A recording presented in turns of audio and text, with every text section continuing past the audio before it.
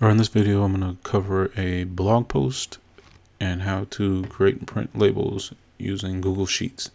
First thing you do is click on the link in the blog. I'll link it in the description. You can go ahead and install. Just follow my steps if you don't have to do the admin route. We'll click done. It tells you where to find it. And we'll go into Google Sheets. All right, so in here you go over to extensions, and if you don't see it down here, just refresh your page. That's what I had to do. All right, we'll close the pop-up, and now we have this panel on the right side. First, you're going to select the data that you want to use for it. First, you're going to select the template you're using. If you don't know this, you can check our website And then you'll select the data you want to populate the cells with and then organize that. So you can see here I'm putting each line on its own, I'm putting each column on its own line except for the city, state, and zip. Those would belong on the same one.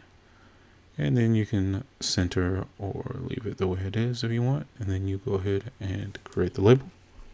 Then you click open and then you click open and it will automatically open the document for you. And as you can see we have three different labels already formatted to print out on the label paper. So we'll go ahead and hit print and I'll show you what that looks like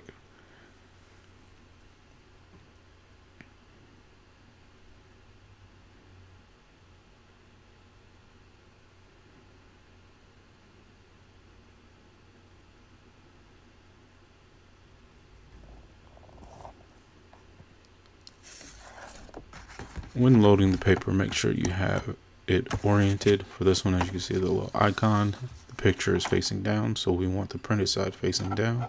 You want to double check your slide or your guides because label paper is a little bit more finicky than standard printing paper.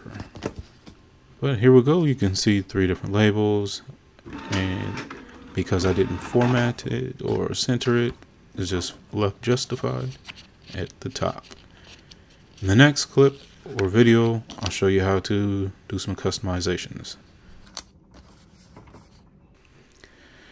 So this is the customization I was talking about. I'm going to scale down the subtitles as in the alphabetical categories.